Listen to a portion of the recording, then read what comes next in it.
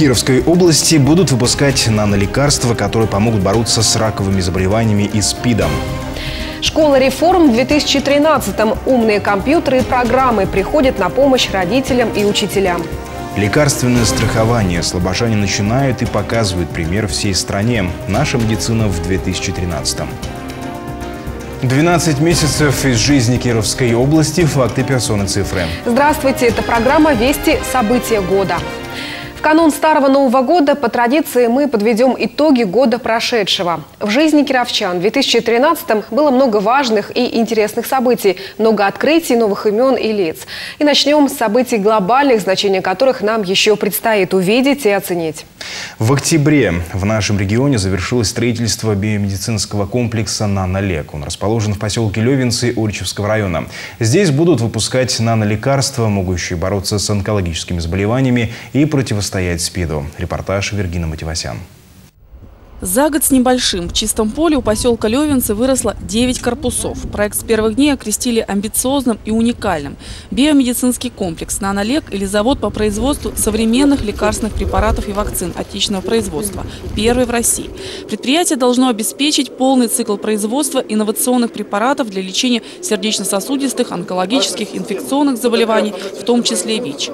Планах выпуск лекарств на основе нанотехнологий и наноматериалов. Все будет организовано по международным стандартам.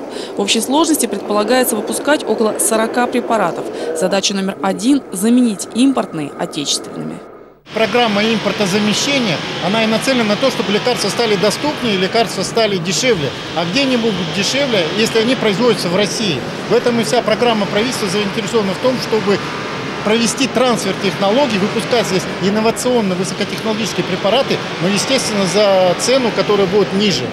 Цена вакцин – главный аргумент. Ежегодно миллионы долларов страна тратит на покупку иностранных препаратов, аналогов которым в России нет.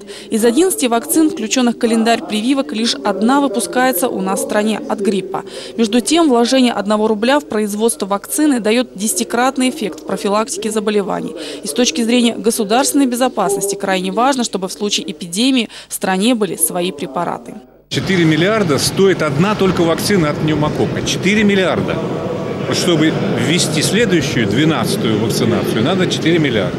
Сами понимаете, что когда идет, э, верстается бюджет страны, то все эти цифры очень обсуждаются существенно. Вот и все. Будет своя собственная вакцина, она будет не только безопасная, я уверен, современная, но она будет дешевле, намного дешевле, потому что здесь планируются самые современные технологии. Общий бюджет проекта – 4 миллиарда 95 миллионов рублей. В реализации участвуют несколько структур. Сама компания «Нанолек», инвесторы, правительство Кировской области. Проект в 2012 году получил патронажный сертификат губернатора. Строительство такого крупного и абсолютно нового производства связано и с созданием в области биофармацевтического кластера. Начало формированию кластера положено. Идея основывается на нескольких базовых инвестиционных проектах, одним и, наверное, первым из которых является проект по созданию нового современного биотехнологического производства биомедицинский кластер производства фармацевтических препаратов на основе наноносителей с использованием пористого кремния и других наноматериалов на базе медицинского комплекса «Нанолег». Ну, многие здесь присутствующих знают, что исторически Вятка была центром биотехнологий, в Кировской области уже есть необходимая научно-исследовательская база, инфраструктурные возможности, кадровый потенциал для создания такого центра кластерного развития. Строительство объекта повлияет и на развитие территории. Появятся новые рабочие места. Уже известно, что 90% специалистов будут из региона. К 2017 году общий объем выпускаемой продукции составит более полутора миллиардов таблеток, свыше 35 миллионов флаконов и 42 миллионов шприцов в год. Запуск производства запланирован через год. Вергина Мативасян, Максим Козлов, Вести, Кировская область. Еще одним важным событием года стал старт масштабного проекта региональных авиаперевозок в ПФО. В апреле в Кирове встречали первый рейс из Нижнего Новгорода. И в тот же день, но несколько часов спустя, в Победилово приземлился самолет «Пермь-Киров» с ВИП-пассажиром на борту. Новые авиаперевозки решил лично опробовать и губернатор области Никита Белых. Развитие подобного проекта внутри России, по словам губернатора, было вопросом политического характера. Активное межрегиональное авиасообщение повышает мобильность жителей жителей ПФО. То, что такой проект э, начал реализовываться, это здорово. Приятно, что он начал реализовываться именно Приволжском федеральном округе. А в целом этот проект рассматривается как пилотный, но уже начиная с 2014 года и далее этот проект должен быть тиражирован на другие федеральные округа. Поэтому для нас принципиально, чтобы этот проект здесь устоялся, показал свою жизнеспособность и мог дальше тиражироваться и масштабироваться. На сегодня кировчане могли уже сами убедиться в успешном развитии проекта региональных авиаперевозок. В ноябре автор этой идеи, полпред президента ПФО Михаил Бабич, сообщил, что программа продлена еще на три года, и к ней подключаются практически все регионы страны. А в аэропорту Победилова в конце ноября прошел торжественную регистрацию 10-тысячный пассажир региональных авиарейсов. Репортаж Кирилла Сысолятина.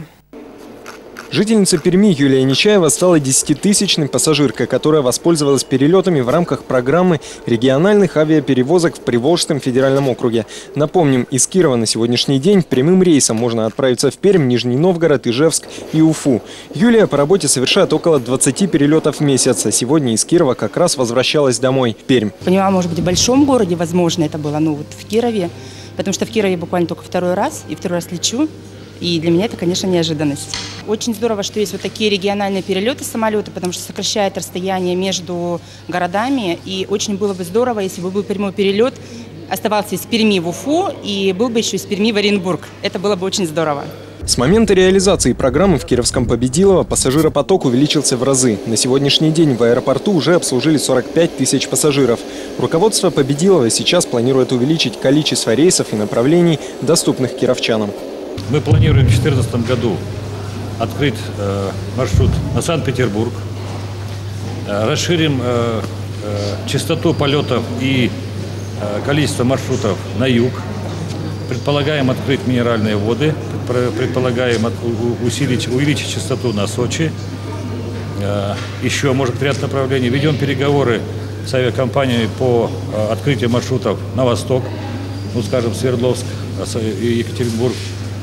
Таким образом, э, полагаем, что в будущем году объем пассажирских перевозок мы доведем, ну, расчетно по, нашему, по нашей программе, до 60, 60 тысяч пассажиров. Также к середине следующего года, возможно, появится некоторая ясность в вопросе о перспективах международных перевозок из Кирова. Кирилл Сосолятин, Максим Козлов, Вести, Кировская область. В 2013 много перемен произошло и в областном здравоохранении. Чтобы упомянуть все, потребуется отдельная итоговая программа. Мы же выделим ключевой проект, пилотный для всей страны в целом. В марте в Слободском районе началась реализация программы лекарственного страхования пациентов. Вергина Мативасян расскажет подробнее. На больничной койке в отделении неотложной кардиологии Александр Кладов оказался с острой сердечной болью. Его история – классика в медицинской практике. В левом боку кололо давно, внимания не обращал, препараты не принимал. После того, что пережил, теперь строго следует рекомендациям врача и более трепетно относится к своему здоровью. Сейчас вот здесь подлечат, посоветуют, какие, что если при случае, какие препараты принимать, то, естественно, я куплю и буду принимать дома. Ежедневно в сосудистый центр поступают десятки пациентов. Как не борись со статистикой, но она упряма. В нашей области смертность от сердечно-сосудистых заболеваний еще достаточно высока. В России в год умирает почти полтора миллиона человек. Инсульты и инфаркты катастрофически молодеют. Сердечную проблему в нашей области решают при помощи комплексного подхода в сосудистых центрах, где в круглосуточном режиме организована работа клинико-диагностической лаборатории, отделение функциональной диагностики и рентгенологии. Пациентам возвращают не только жизнь, но и в прямом прямом смысле ставят на ноги. Если мало ли ваше самочувствие будет ухудшаться, вы мне будете сообщать об этом своевременно. Либо на дом вызывать, либо на прием приходить. Также у вас есть мой номер сотового телефона, по которому вы можете сообщить мне о вашем состоянии. Не доводить себя до реанимации или больничной палаты можно средствами профилактики. И пациентам с сердечно-сосудистыми заболеваниями решено выдавать лекарства. Евгения Кудяшева одна из тех, кто попал в пилотный проект лекарственного страхования. Женщине не только подобрали подходящие препараты, но и будут выдавать их практически бесплатно. Она платит лишь 10% от стоимости. В семье, где сразу два сердечника и покупка дорогостоящих лекарств сильно била по карману, но введению рады. Это очень хорошо придумали. Очень хорошо для нас было. Хорошо придумали в Департаменте здравоохранения. Им проведены расчеты по наиболее значимой группе заболеваний – болезням системы кровообращения. Именно для этих пациентов и разработан проект лекарственного страхования. Расчетная стоимость программы для Слободского района – 20 миллионов рублей. Средства были выделены из областного бюджета. Мы очень надеемся, что эта программа позволит э, снизить количество острых сосудистых катастроф, уменьшить временную нетрудоспособность, то есть пребывание пациентов на больничном листе, уменьшить количество вызовов скорой медицинской помощи. Кроме того, при проведении аукциона на закупку лекарственных препаратов мы получили значительную экономию, и мы сейчас планируем включить в эту программу еще и жителей Белохолуницкого района. Схема проста. Врач включает пациента в программу лекарственного страхования, он же назначает терапию, выписывает препарат и выдает бесплатный рецепт, по которому можно получить лекарства в любой аптеке. Сердечников даже будут учить, как правильно принимать препараты, питаться и, главное, следить за артериальным давлением и измерять его. В школе здоровья для них разработан специальный курс занятий. Каждому выдан индивидуальный дневник здоровья. Пока что проект пилотный и будет реализовываться только в Слободском районе, но если он докажет свою эффективность, то уже в ближайшее время положительный опыт распространят на другие районы области. И, возможно, он будет повзаимствован другими регионами. Ведь в деле лекарственного страхования Кировская область пока что первая в России. Вергина Мативасян, Вячеслав Голиков, Вести, Кировская область. Много новшеств в 2013 было и в сфере образования. В нашей постоянной рубрике «Школа реформ» мы рассказывали о новом успешном опыте кировских педагогов и не только. В сентябре в кировских школах стартовал пилотный проект по введению универсальной электронной карты для школьников. Одним из первых новшества оценил наш корреспондент Андрей Дозорцев.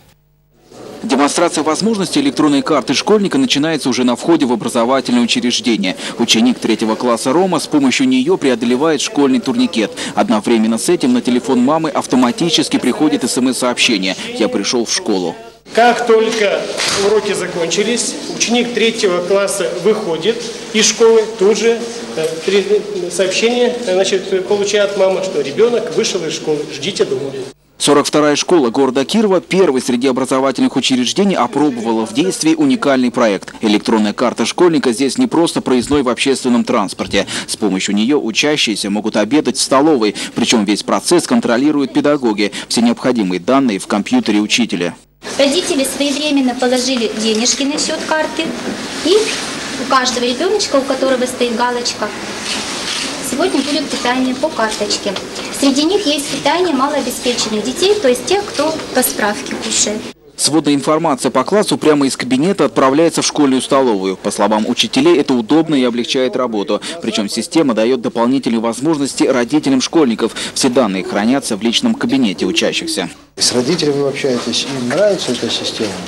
Родители устраивают, потому Устроит, что потому они что в курсе. Контроль да, всех да, их действий да. практически. И в личном кабинете они видят, что ребенок покушал сегодня. Теперь Рома может смело отправляться в столовую. Его комплексный обед стоит около 60 рублей. На кассе деньги не требуют, достаточно электронной карты. Причем в компьютере отображается фотография школьника. Чек прошел, мальчик у нас покушал. Кроме его никто по карточке не покушает. Все, приятного аппетита, иди кушай. Самому Роме такие нововведения в школе понравились. Его даже не расстраивает, что теперь родители не дают ему наличные деньги на школьный обед. Лучше карточкой платить, это удобнее. Почему? Потому что э, деньги могут потеряться. А с карточкой они не потеряются. Мы, во-первых, убираем от них вот эти вот реальные деньги, когда он может там или что-то там приобрести, не дай бог, что там ему пока еще рановато. А вот он его чисто направлен на проезд, на питание, и мама это контролирует. В общем-то, все просто, удобно. Пополнить карту можно через терминалы или в кассах некоторых банков. Есть возможность перевести деньги с помощью онлайн-кабинета, не выходя из дома. Опыт 42-й школы городские власти считают положительным. Он будет распространяться на остальные образовательные учреждения Кирова. В эфире итоговая программа «Вести Кировской области. События года». Смотрите во второй части выпуска. Путь длиной в 55 лет от первой кинопленки до цифрового ТВ. 2013 в истории кировского телевидения и ГТРК «Вятка». Неизвестная вятка, археологические сенсации года и чудо, явленное в Амутнинске, мироточение камня, привезенного от гроба Господня. В эфире итоговая программа «Вести Кировская область. События года». Мы продолжаем обзор самых значимых моментов прошедшего 2013 года. В сентябре в Санкт-Петербурге на аллее мемориала «Невский пятачок» состоялось открытие памятного знака кировчанам, воинам Великой Отечественной войны. Плита от благодарных земляков была установлена в Кировском районе Ленинградской области. Именно здесь в годы войны шли ожесточенные бои за Ленинград. Все подробности в материале Андрея Дозорцева. Даже сегодня, спустя несколько десятков лет, в Кировском районе многое рассказывает о тех годах блокады Ленинграда. И пусть техника на площади уже превратилась в музейные экспонаты, каждый танк хранит историю войны. Они стояли здесь и раньше, на поступах к северной столице, когда немецкими войсками был опутан город, но не побежден. Все машины, они воевали за Ленинград. Эти экипажи здесь воевали и погибали. И эти машины в основном, практически большинство, все были найдены в Неве или где-то засыпаны были эта территория была стратегически необходима для прорыва блокад Ленинграда. Несмотря на постоянные атаки, его удерживали советские войска. Неоднократно с него пытались прорваться к Ленинграду. Среди бойцов было много кировчан. 100 тысяч жителей Кировской области в Великую Отечественную войну сражались на подступах к Ленинграду. 35 тысяч из них погибли или пропали без вести. Это были ожесточенные бои. Каждый квадратный метр этой земли хранит останки до 17 бойцов и командиров Красной Армии. Их тела до сих пор извлекают из земли. Около 500 советских воинов было поднято поисковиками на Невском пятачке. По личным вещам и медальонам было опознано около 30 солдат. Один из них – житель Яранского района Петр Яролев. Его родственники приняли решение решение захоронить останки солдата вместе с остальными защитниками Ленинграда.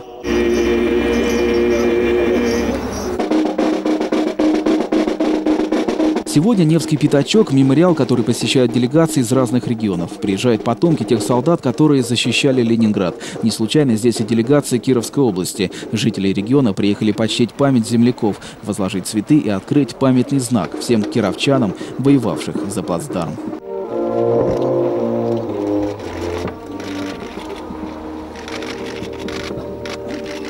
Это действительно большое мероприятие признания тех героев, которые здесь, на Невском пятачке, а, оставили свои жизни, защитили Ленинград.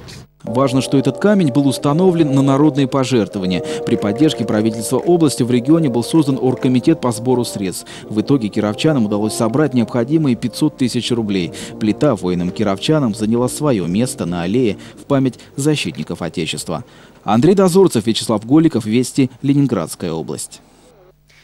И еще об истории. Летом 2013-го в Кирове случилась настоящая археологическая сенсация. На раскопках Хлыновского Кремля была обнаружена деревянная мостовая, которая не значится ни на одной известной историкам карте. На месте событий побывал Алексей Фоминых. За последние десятилетия это наиболее крупное открытие вятских археологов. Раскопки происходят на территории Хлыновского Кремля. И вот перед нами предстала древняя мостовая Хлынова. Здесь бревна расположены так, чтобы по настилу пройти, не замочив ног, не испачкав обуви. Э, тогда наши предки тоже заботились о комфорте и уюте того места, где они проживали. Древность мостовой, 16-17 век, позволяет предполагать, что, возможно, именно здесь мог ходить Преподобный Трифон – вятский чудотворец. Находки предметов быта и орудий труда рассказывают о том, чем занимались и как строили свои жилища обитатели Хлыновского Кремля. Достаточно плотная застройка – свидетельство того, что земля в Хлыновском Кремле была очень дорогой. Пространство старались использовать с максимальной пользой. Это, конечно, для нас очень важное открытие, потому что даже планировка Вятского Кремля ранее была очень мало изучена, тем более, что на всех планах, к которым мы обращались, в этом месте э, находится ну, белое пятно, скажем так. То есть здесь не обозначены ни э, жилища, ни э, улицы, и поэтому э, можно сказать, что с находкой этой мостовой мы получили новую важную информацию и о планировке э, Вятского Кремля, и о том, что здесь раньше находилось, и узнали немного больше о ранних страницах истории нашего города. Внешне раскоп очень напоминает известные на весь мир новгородские мостовые, где было найдено множество берестяных грамот. Сохранились они благодаря большой влажности и отсутствию доступа кислорода. Археологи отмечают, в случае с Хлыновской мостовой ситуация схожая. Вырытый вокруг Кремля оборонительный ров нарушил естественный дренаж почвы, и вода стала подступать к строениям. Чтобы не увязнуть в грязи, хлыновцы сооружали мостовые, крепкие и достаточно широкие. Но именно благодаря высокой влажности Хлыновская мостовая так так хорошо сохранилась до наших дней. Уникальный, просто уникальный объект – это э, вот эта часть города, в котором мы сейчас с вами находимся. За последние 60 лет вот такой глобальной работы по э, раскопкам, по изучению археологического слоя именно центральной части города Кирова, города Вятки, Хлынова еще не производилась. Уникальная находка произошла вот в этой части города. Она ценна не только для города э, Кирова, но и для э, России в целом. И пусть коррективы в исторические карты археологи вносят пока с помощью ручки в полевых условиях. Скоро новые открытия кировчан станут достоянием научной общественности. В археологической лаборатории ВЯТ ГГУ уже идет обработка множества найденных здесь артефактов, которые вскоре и пополнят экспозицию Кировского областного краеведческого музея. Продолжая историческую тему, отметим, что 2013 год для нашей телекомпании прошел под знаком большого юбилея. 55 лет назад, 22 июля 1958 года, Кировская студия телевидения начала регулярное вещание на территории нашей области. Во время пробных передач техники и инженеры выполняли обязанности режиссеров, операторов звука, видео и даже дикторов. 21 мая 1958 года была введена в эфир первая местная телепередача «Телевизия телевизионный журнал «Юные ленинцы». 1 мая 1962 года впервые состоялся прямой репортаж с праздничной демонстрацией. А в 1979 году в Киров поступила новая цветная передвижная телевизионная станция. Ну а в июле 2013 в нашу область пришло цифровое телевидение. Что, даем цифровое? 5 секунд. Вот появляется 10 каналов. Можно поаплодировать этому событию. Новые технологии постепенно приходят во все районы области. И сегодня мы предлагаем еще раз вспомнить, как проходил запуск нового стандарта эфирного вещания в Верхнекамском районе. Цифровое телевидение – это новый этап развития телевещания в России. Современная технология передачи изображения с наименьшими потерями и высоким качеством. Это достигается установкой и работой целой цепочки оборудования. Цифровой сигнал принимается со спутника и передается потребителям Верхнекамского района с высоты 250 метров, самого верха этой телевизионной мачты. Многие дефекты просто убираются за счет другого принципа вещания. То есть э, исчезает двоение, исчезает э, помеха в виде снега, исчезают шумы. Качество будет намного выше. Включение в работу оборудования станции КИРС означает запуск цифрового телевидения на северо-востоке области. Сигнал передается в радиусе около 50 километров. Это позволяет охватить вещанием почти всю территорию Верхнекамья и некоторые населенные пункты близлежащих районов. Запуск цифры в регионе сопровождает информационная кампания. В местном ДК жители могут узнать, как принимать цифровое телевидение. Для просмотра программ необходима дециметровая антенна, при этом обычного телевизора будет недостаточно. Его необходимо заменить заменить на новый, поддерживающий стандарт DVB T2 или купить специальную приставку. Их стоимость начинается от 1300 рублей. Настройка очень простая. Заходим в ручной поиск. Нажимаем 31 канал. Э, сразу же выставляется частота 554, полоса частот 8 МГц. И уже можете настраивать просто меню ОК, и она сама все настроит. Цифровое телевидение приходит в регионы в рамках госпрограммы развития телерадиовещания в России. Она подразумевает уход от устаревшего аналогового эфирного вещания. Пока идет создание сети цифрового телевидения, два формата будут работать параллельно, но в итоге аналог прекратит свое существование. Произойдет это не раньше 2016 года. Оно будет выключаться не так, что значит, по всей России одним махом, значит, а вот она по регионам, может быть даже по районам выключаться, значит, там, где готовность населения к приему вот э, этого сигнала цифрового есть, там, где уже приобретены приставки и соответствующие телевизоры, значит, но спешить с этим вопросом никто не намерен. Плюсы цифрового телевидения уже оценили некоторые жители Верхнекамского района. Надежда Поликарповна на пенсии. Каждый день по телевизору смотрит сериалы и развлекательные программы. В ее доме уже установлена приставка и качество картинки на высоком уровне. Больше, конечно, каналов. У меня три канала, казалось, четвертый только культура, и то не важно. А сейчас вот попереключали, вроде все ведь хорошо, 10 каналов. Все хорошо кажут. Теперь Надежда Поликарповна ждет следующего этапа развития в районе цифрового телевидения. Скоро к 10 каналам прибавится еще 10, а в 2014 году запуском нового спутника у телезрителей появится возможность смотреть местные вставки в российских телеканалах. Андрей Дозорцев, Вячеслав Голиков, Вести, Верхнекамский район. В 2013 много знаковых событий произошло и в духовной жизни. Так, например, в Кирове впервые в истории побывал посол Ватикана. Внимание столь высокого гостя привлек проект «Вифлеем в Вятке», за развитием которого мы наблюдаем уже более трех лет и не раз рассказывали в нашей программе. В этом году приют для будущих мам, оказавшихся в сложной жизненной ситуации, который основал католический священник Григорий Звалинский, наконец получил собственное помещение. Кировская городская дума передала приходу в безвозмездное пользование просторное помещение на Подгорной. Отметим, что за четыре года благодаря проекту от аборта удалось спасти 14 малышей.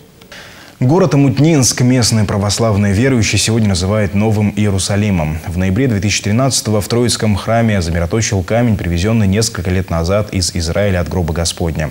В Амутнинске побывала наш корреспондент Милана Поварницына. Весь город, у нас э, весь город побывал поклонению от Матронушки Московской. То есть э, писали там, записочки ложили в ящик. И по окончании вечерней службы в воскресенье, э, ну, значит, пошла протирать плащаницу и камешек. И следы обнаружила, ну как следы-то увидела, что такое, я, конечно, ну просто по своему маловерию не поняла, что это такое может быть. Женщина подумала, что это следы от губ прихожан, и удалила пятно. На следующий день в храм спустилась помолиться певчая и тоже обнаружила пятно на ковчеге с камнем от гроба Господня. Она сразу же сообщила об этом настоятелю. Кто-то говорит, что мироточение – это предвестие беды, кое-кто игнорирует, а служители храма увидели в этом великую благодать. Чудо настоящее. Для нас это очень большое чудо. Это, конечно, это очень, очень большое чудо. Так же, как и люди, иконы плачут. В летописи пишут, Богородица на иконе плакала, а далеко за городом упал метеорит и выжег лес на несколько верст. Правда, тогда не погиб ни один человек. В июне 1290 года впервые на Руси замироточила икона Божьей Матери – Благовещение. С тех пор уже более семи столетий на разных иконах появляются благоухающие капли влаги – мира. Случаи, когда мироточат камни – исключительное явление. Это знак того, чтобы мы постарались по возможности э, смягчить свои зачастую ожесточенные сердца, дабы они соделались источником слез покаяния, и через это э, мы бы все возрадовались о самом главном чуде э, в истории всего человечества и христианства. Это о чуде воскресения Христовом. Именно через мироточение Господь всех нас снова и снова уверяет в этом. Особым знаком присутствия Бога, поистине чудом, стало и само появление камня от гроба Господня. Он был привезен по благословению владыки Даниила в 2006 году прихожанкой Валентиной. Она с дочерью совершила паломничество в Иерусалим. По милости Божией, когда они стояли в очередь к гробу Господню, сам камешек как бы пал перед их ногами. Увидев в этом промысел Божий, с мольбами подойдя к священнослужителю храма, с просьбой взять эту святынечку с собой, они с радостью направили свои стопы в Амутнинск, в Троицкий собор – в Иерусалиме в храме Воскресения Христова некоторых паломников проводят в подземную пещеру, которая находится под гробом Господним. Там они могут наблюдать благоухание и мироточение камней. Но с храмом Воскресения Господня, возведенным на месте, где был распят, а затем воскрес Господь, Амутнинск связывает не только чудо мироточения, но и еще одна святыня – Кувуклия, которая означает «покой», царская почевальня. На Святой Земле в Кувуклии происходит схождение благодатного огня. Это небольшая часовня, в которой заключен гроб Господень, величайшая христианская святыня. Кувуклия есть в Иерусалиме, в монастыре под Москвой и в Амутнинске, который можно назвать Третьим Иерусалимом. Кстати, Троицкий храм молодой. В ноябре отметил десятилетие со дня освящения главного престола. А место, где теперь находится Кувуклия, долго оставалось свободным. Ее устроили в соборе по инициативе отца Тихона, который тогда был его настоятелем. Приезжают кировские паломники или вот при, э, мимоходом, э, с карты были из Челябинска. И вот они тоже, когда спустились в гроб Господень, это вот действительно э, в Кувуклию, ну, как они называют, тоже и гробом Господним, э, они, конечно, были, э, выходят, все в такое, как у вас хорошо, так это благочестиво все. И вот здесь вот даже вот, даже по немощи своей, когда приходишь сюда, и вот действительно здесь а, а, получаешь такое облегчение, вот это вот тоже вот как тут это необъяснимо. Вот. Теперь у жителей Амутнинска появилась своя святыня, где паломники и прихожане могут стать еще чуть ближе к Богу. Милана Поварницына, Денис Трушков, Вести, Кировская область. На этом все. Спасибо, что были с нами. Увидимся, как обычно, через 7 дней. Всего доброго. До свидания.